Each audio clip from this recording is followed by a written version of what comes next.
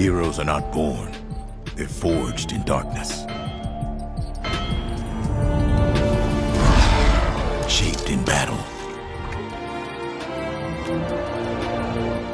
Defined by sacrifice. And I am Iron Man.